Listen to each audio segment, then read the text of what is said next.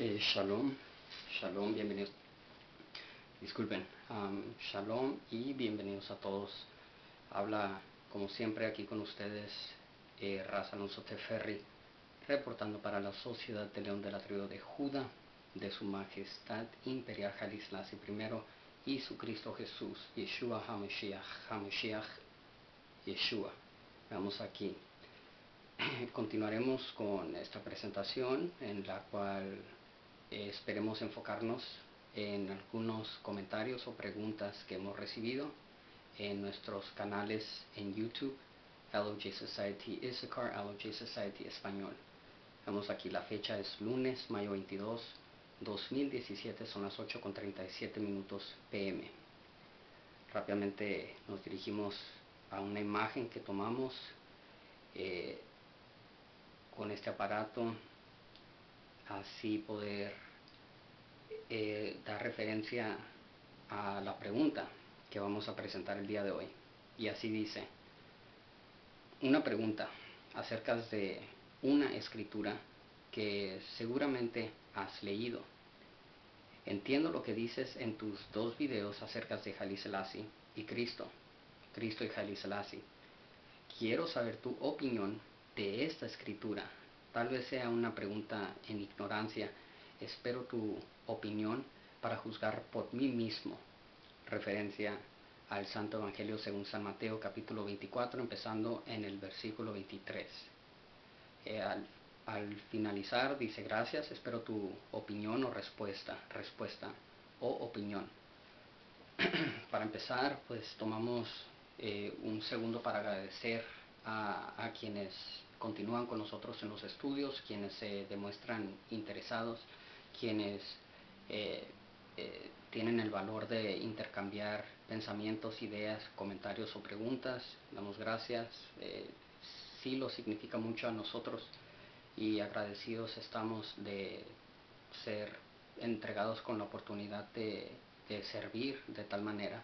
Así es que Muchas gracias eh, por el comentario, por la pregunta y intentaremos hacer lo mejor que, podamos para traer al frente eh, la más alta claridad que de la cual seamos capaz eh, donar como nuestro presente a, a, quien pues el más alto elija, elija digno de ser capaz de recibir. Así es que esperemos y pedimos por todos que ya en Cristo nos, nos dé esa oportunidad de poder recibir, porque sin Él nada es posible, pero con Él todo es posible.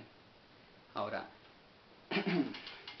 ¿qué hacer? Vamos a dirigirnos a las escrituras eh, para hacer memoria de la referencia, es decir, es decir, pues hacer la lectura, repasar los versículos a los cuales nos dirige esta pregunta. Ahora, acabo de recordar que es muy importante notar que no hay pregunta la cual sea basada a ignorancia. De hecho, es, es el rechazar vivir en ignorancia lo cual nos estimula, nos motiva a hacer preguntas. Así es que ninguna pregunta, pequeña o gigante que sea, es es de ser llamada eh, menos o, ser hecha menos. Ninguna pregunta es de, burlarse, ninguna pregunta es estúpida, es tonta o es ridícula. Toda pregunta es,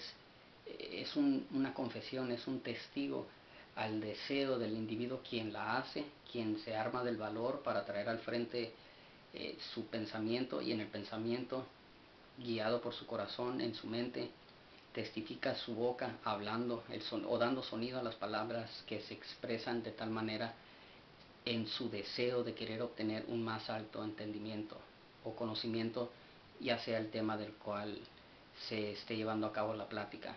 Es la pregunta la cual nos aleja y nos distingue o nos separa de la oscuridad, de las tinieblas, de las nubes espesas, del humo espeso y nos brinda la oportunidad de obtener claridad, de obtener luz, iluminación. Si no preguntamos, no aprendemos, bien por el quien eh, pregunta. Entre más preguntamos, más sabemos. No todo tenemos que aprender por nosotros mismos.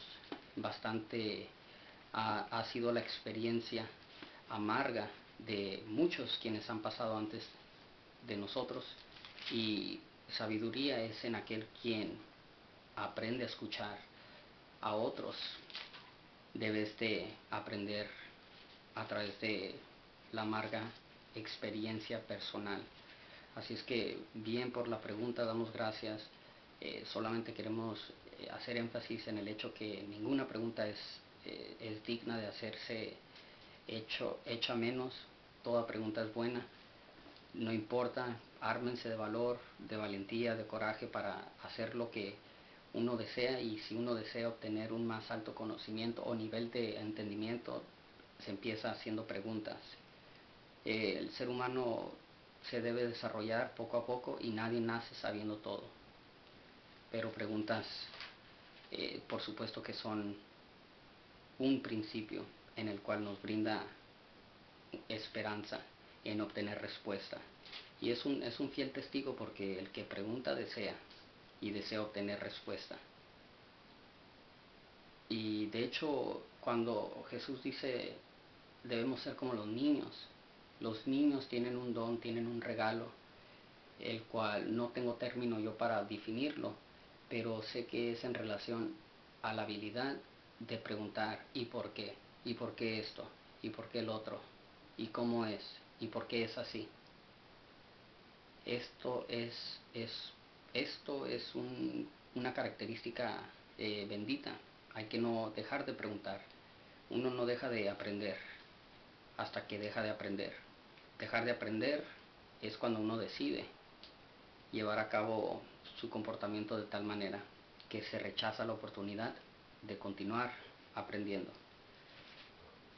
Eh, Santo Evangelio según San Mateo, capítulo 24, versículo 23. Entonces, si alguno os dijere, he aquí está el Cristo, o allí, no creáis, porque se levantarán falsos cristos y falsos profetas, y darán señales grandes y prodigios, de tal manera que engañarán, si es posible, aún a los escogidos.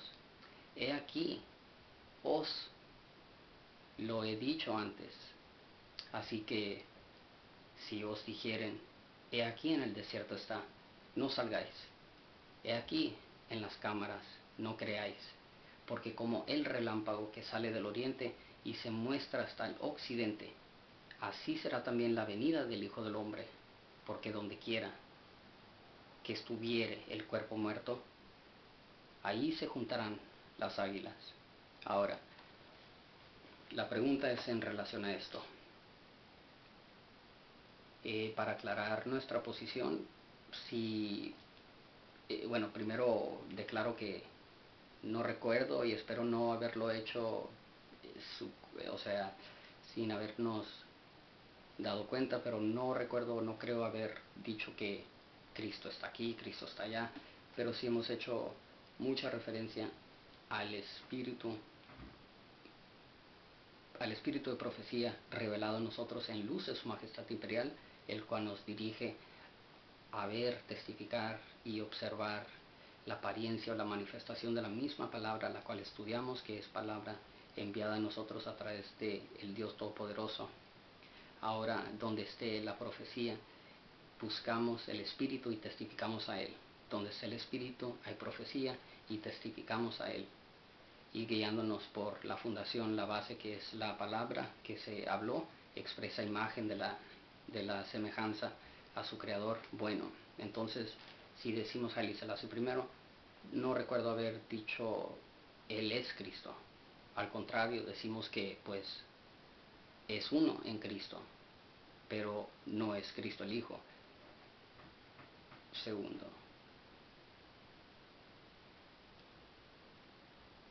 Pausamos porque hemos estado pues teniendo que soportar eh, distintas interrupciones. Así es que si pausamos por un segundo, solamente estamos poniendo atención, escuchando, si acaso se, se aproxima o se acerca una interrupción. En otras palabras, declaramos planamente que si hemos nosotros eh, de alguna manera expresado un pensamiento de tal, de tal forma que se pudo haber entendido por nosotros declarar que Cristo está en un lugar, eh, pues nos, nos disculpamos porque no ha sido nuestra intención. Cristo es resucitado en nuestros corazones, el cuerpo y el corazón del individuo se convierte en el templo en donde habita nuestro Señor negro y Salvador Jesucristo y a través de Él, en Él somos uno con el Padre, en quien Él es y en quien, en quien es Él, uno porque uno somos. Así es que el Padre nos llama a servir al Hijo a través de quien se brinda la oportunidad del espacio y el lugar para habitar en el Padre, porque en el corazón del Padre está el Hijo. En el, en el medio del trono está un, ¿cómo veamos aquí? Debería hacer referencia a la escritura. Eh, el libro del Apocalipsis, capítulo, capítulo 5, eh, libro de la revelación. Capítulo 5 nos dice, veamos aquí, en medio del trono y de los cuatro animales y en medio de los ancianos estaba un cordero como inmolado, que tenía siete cuernos, está bien, eh, que son los siete espíritus de Dios enviados en toda la tierra. Un cordero, Cristo Jesús. Y él vino y tomó el libro de la mano derecha de aquel que estaba sentado en el trono. Ahora, él quien está sentado sobre el trono es su majestad imperial Jaliselas primero. No llores, sea aquí el león de la tribu de Judá, la raíz de David, que ha vencido para abrir el libro y desatar sus siete sellos. Así es que en el trono está sentado uno, y uno quien está sentado es Ramajal Selassie. Y en el medio de ese trono, es decir, en el corazón, en el trono del quien está sentado sobre el trono, está el Cordero. En el corazón de Haile Selassie primero está el Hijo de Dios, Jesucristo, y el Cordero y el León habitan junto y lado a lado en, paz. Así es que eh, si hemos dicho que aquí Cristo, pues sí lo vemos en luz de su majestad imperial Selassie primero, pero no es decir que Cristo Jesús en la carne es manifestado otra vez. No voy a hacer que lo crucifiquemos dos veces. Ahora estas palabras eh, pueden ser un poco complejas o, o, se pueden confundir fácilmente.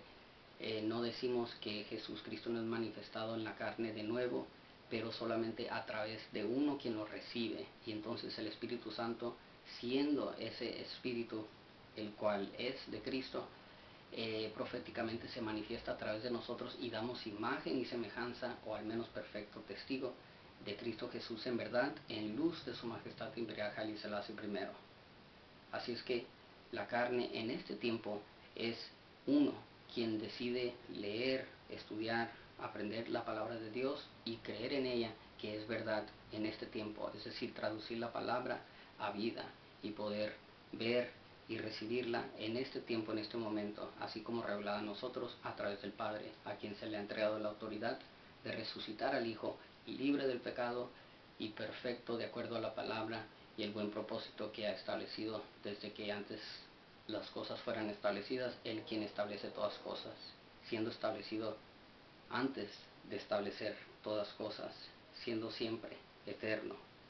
A ver, podemos y, solamente menciono rápidamente, rápidamente que, que los aspectos y responsabilidades del Padre y el Hijo son intercambiables, pero sí se demuestra un, énfasis en responsabilidad eh, eh, ¿cómo se podría decir? responsabilidad atribuida al Padre, a la persona del Padre y a la persona del Hijo, aunque ambos viven la misma vida por experiencia y se puede interpretar de tal manera que ambos son leones y ambos son corderos, eh, pero se hace énfasis en que eh, en, mayor parte las profecías en el Espíritu de verdad son manifestadas cada quien en su, en su posición respectiva, a diferentes niveles, pero siendo uno y somos uno.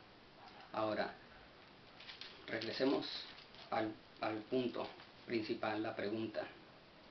Eh, eso era para disculparnos si acaso hemos dado la impresión de que nosotros decimos, pues aquí está Cristo, allá está Cristo. No, Cristo no está lejos de uno, está en, nuestros corazones y lo expresamos con, con el hablar las palabras que son justas y, verdad, y verdaderas. Así es que eh, el aliento que, que, expresa la palabra, que es verdad, eh, en, en Él es el Espíritu.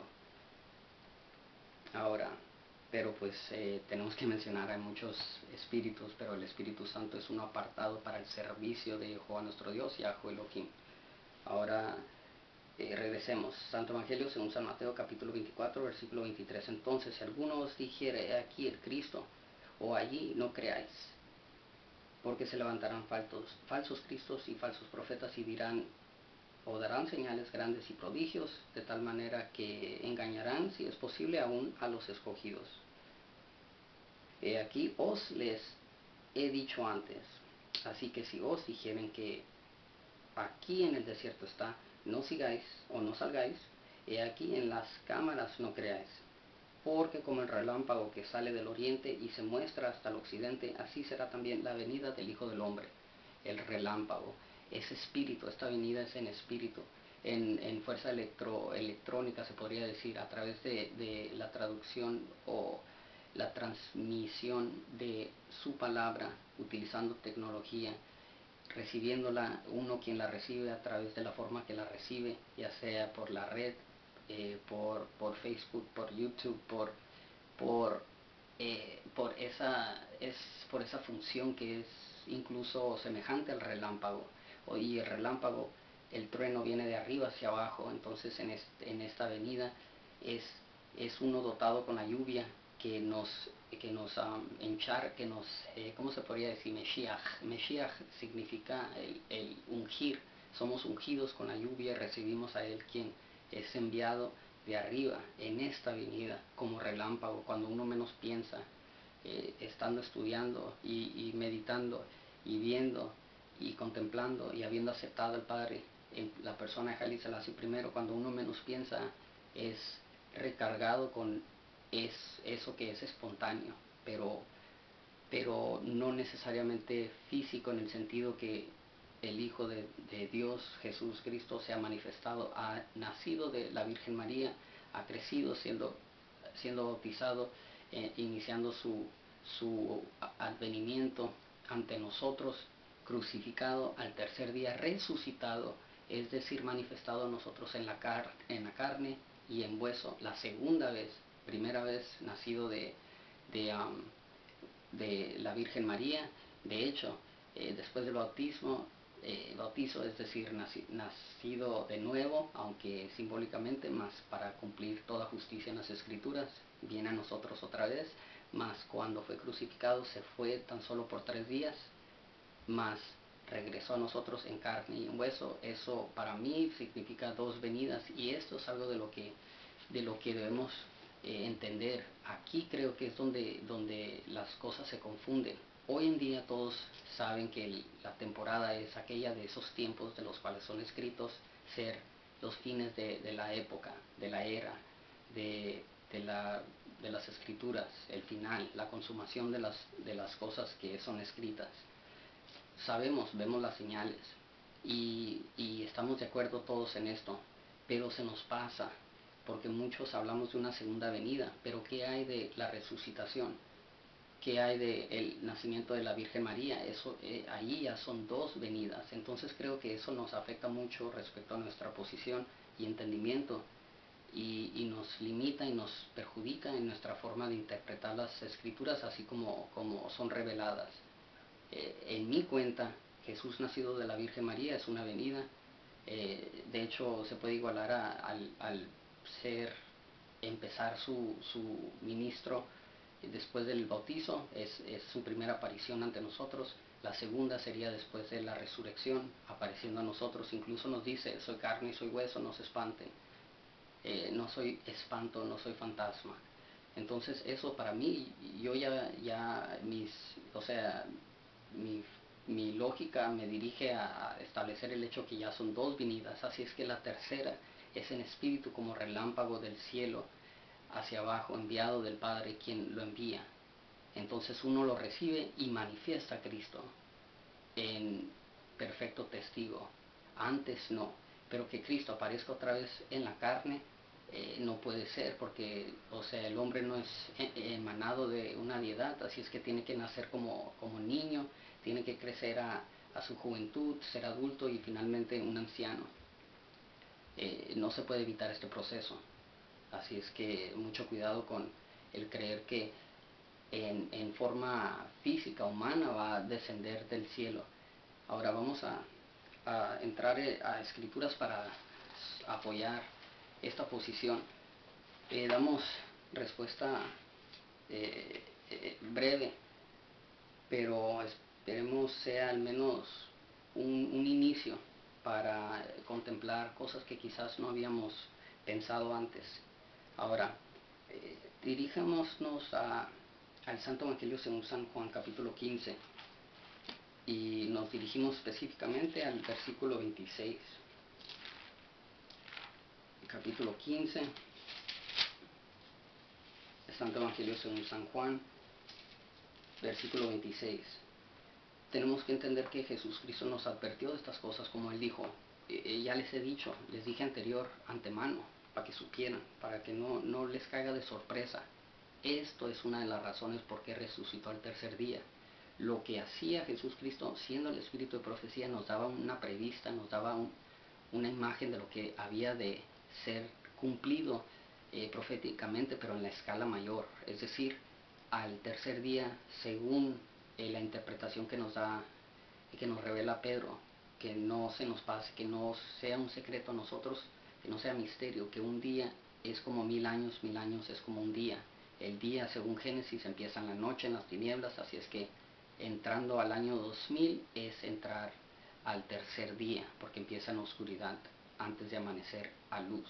Así es que esta profecía que había de cumplirse a, la escala mayor en que el Padre resucita al Hijo en nosotros, Él nos dio Jesús Cristo una prevista siendo el espíritu de profecía, nos demostró cómo se iba a llevar a cabo incluso la vida del Padre, pero a una escala menor, para, ser advertidos de lo que había de, porvenir y que no nos no nos pasara por sorpresa, porque Él es compañero nuestro, no nos deja atrás y no nos adelantamos, caminamos junto a Él lado a lado.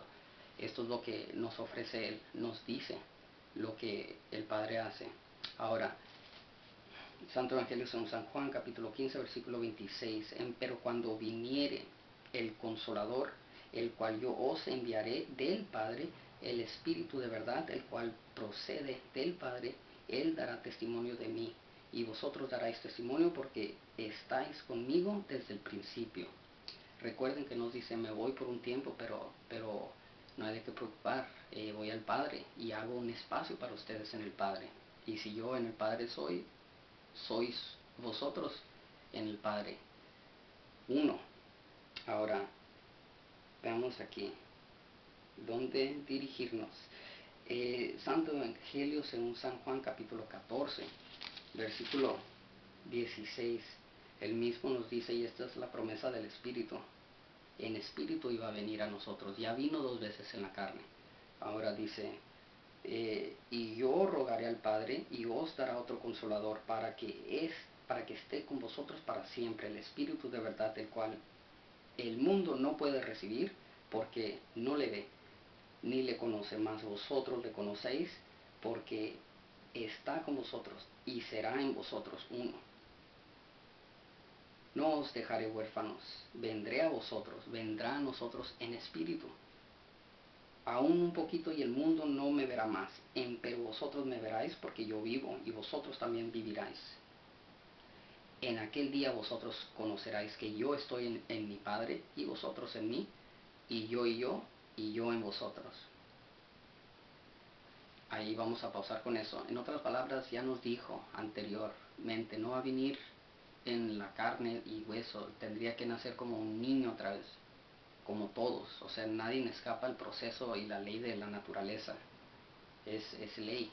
Eh, y Jehová nuestro Dios no, no, no hace ridiculeza de su, de su, de su expresa eh, de su expreso mandamiento. O sea, su ley es su ley y se obedece. La naturaleza no va en contra de lo que, lo que está programada para hacer.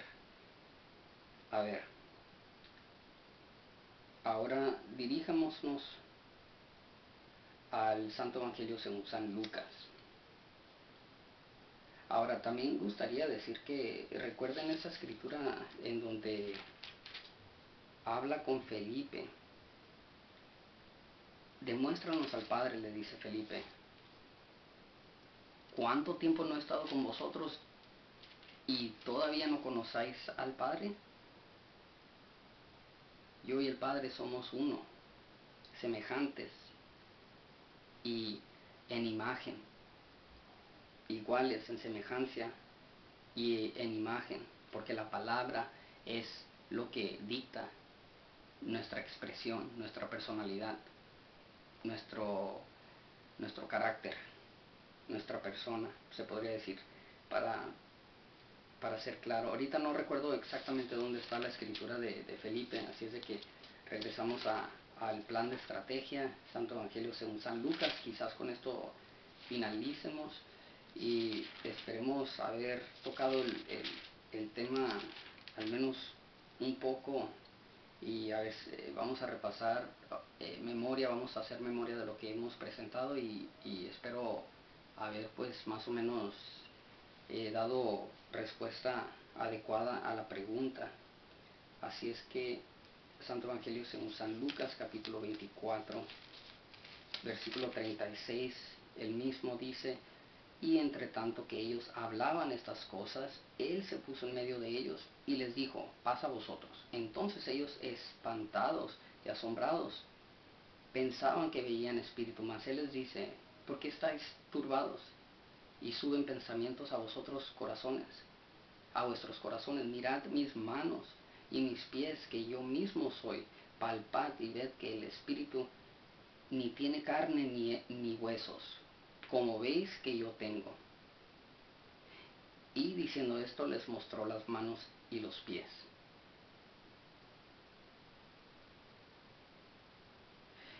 Vean aquí, y no creyéndolo aún ellos de gozo y maravillados, díjoles, ¿tenéis, tienen aquí algo de comer? porque al comer les va a demostrar que Él es carne y hueso. Ahora, nos dirigimos al versículo 49. Y he aquí, yo enviaré la promesa de mi Padre sobre vosotros, mas vosotros asentad en la ciudad de Jerusalén hasta que seáis investidos de potencia de lo alto. La primera fuerza de la Trinidad de arriba nos envía al Hijo en el Espíritu Santo. Y de esta forma, como hemos visto, que se lo llevan de misma manera, es entregado a nosotros, en espíritu y en verdad. Así es que creo que la clave para entender todo esto es que ya vino dos veces y mucha gente está atrapada en, que, oh, la segunda venida, segunda venida. No, la manifestación del, o la eh, el completar, la finalización, la consumación, eh, el, el Shabbat, el cumplimiento del templo, el cuerpo humano, unido de nuevo, como en el principio, a su Creador, en espíritu y en verdad, la primera fuerza de la Trinidad, la restauración del hombre en su relación a su Creador, inseparable, la divinidad a su humanidad siendo una, una realidad, una verdad inseparable, la enemistad eliminada, el creado unido a su creador, de nuevo como en el principio, la primera fuerza de la Trinidad. Así es que este es el templo, construido no con manos de hombre, pero construido por el quien todas cosas ha construido quién las construyó, quién nos construye. Y construimos construyendo. Eh, shalom.